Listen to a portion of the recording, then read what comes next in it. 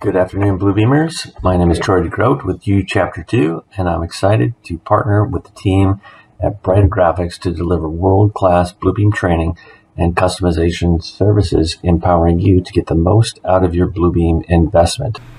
So let's dive into Bluebeam and show some examples.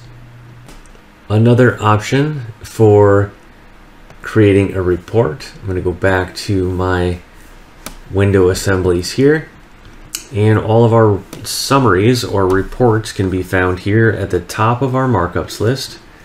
So if you're not familiar with the interface, as you go down to the bottom, we've got this blue line. If you drag that up, that's going to expose the markups list. And every time you do a markup up on the top, it generates a line item in the list for that markup. Another way to open this is to click on these little three dots over here. That will open up our markups list as well. So once this is open, you can look at the summary here.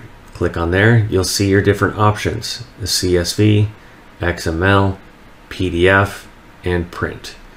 So let's talk about a few of these. A CSV export, if I click on that, our export window pops up and how these are going to work and they're all pretty similar. You can go to the columns tab here select which columns you want to include in your summary. So that's the columns across here. If you don't want all of them that's okay. Just uncheck those. Then come over to your filter and sort and you can tell it to sort by space or subject or whatever you want that to be sorted by. You can also filter out different markups as well. If you want to filter out all the curtain walls and just keep the storefront, you can do that in here with the sort and filter. Then we jump over to our output, CSV of course, tell it where you want that to export to give it a file name and you can look through the settings in here and apply what's important to you. Uh, the ones, the major ones I want to point out when you're exporting to a CSV, so an Excel file, is we can include markups, which is going to give us um, each individual markup, each line item. Or we can do the totals which will group all the similar um, similar objects. So curtain wall glass one, all of these different glass one markups would group together and give you a total instead of the individuals. Or you can do markups and totals. So I'm pointing this out because I want you to be careful on what information you're including in that export. So a couple different ways that I've seen people use this. Sometimes they'll export their markups and then they'll work with that Excel file to enter in formulas for labor and cost and things like that. They'll sort and filter within the Excel file. That's perfect, just fine. So determine what you want to export there. Others I've worked with will export and import the Excel file into an existing estimating software. So the Excel file is just temporary.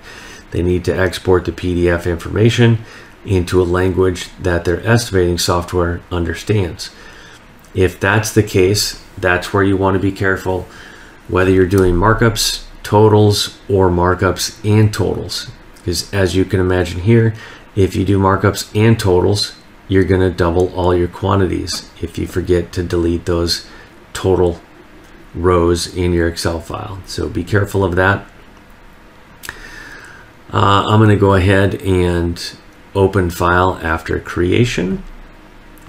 And from here, I can just click OK. Before I do that, if I do all this setup and it's a consistent export every time, I want to make sure I save that configuration and share it with my team. They can load it, get exactly the same results you have without having to set it up every single time. Okay, save that configuration and we're just going to hit OK. That's going to open up Excel for me. Drag that up here. And you can see here, I've got all of that information from my markups list in my Excel file.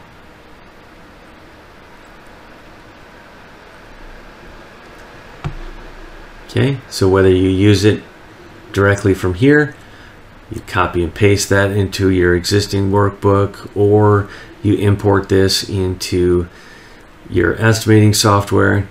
Uh, I've seen others um, use Power Query to run macros and clean things up very quickly. Uh, lots of really cool stuff that I've seen happening out there. So that's our CSV whether you want it in Excel or you're importing it into an estimating software like I talked about.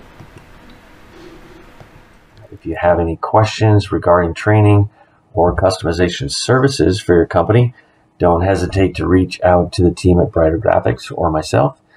and we'd be happy to help you out with that.